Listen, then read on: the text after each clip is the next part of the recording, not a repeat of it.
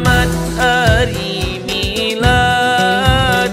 Semoga dapat rahmat dari Allahu